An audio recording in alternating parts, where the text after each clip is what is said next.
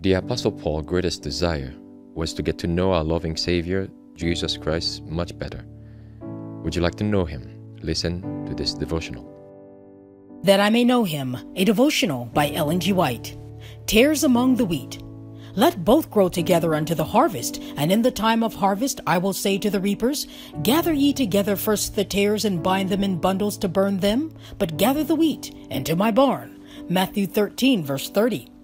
In this world we shall become hopelessly perplexed, as the devil wants us to be, if we keep looking upon those things that are perplexing. For by dwelling upon them and talking of them, we become discouraged. We may create an unreal world in our own mind or picture an ideal church where the temptations of Satan no longer prompt to evil. But perfection exists only in our imagination. The world is a fallen world, and the church is a place represented by a field in which grow tares and wheat.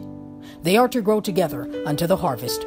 It is not our place to uproot the tares according to human wisdom, lest under the suggestions of Satan the wheat may be rooted up under the supposition that it is tares.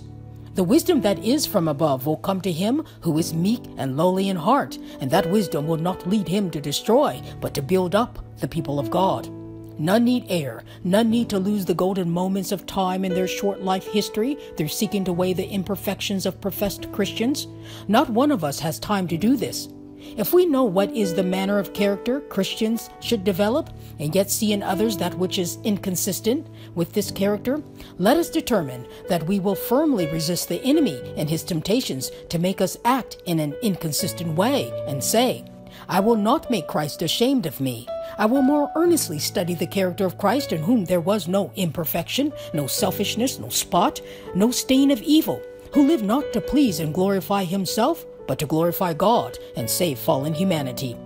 I will not copy the defective characters of these inconsistent Christians. The mistakes that they have made shall not lead me to be like them. I will turn to the precious Savior that I may be like him. Follow the instruction of the Word of God, which says, Let this mind be in you, which was also in Christ Jesus.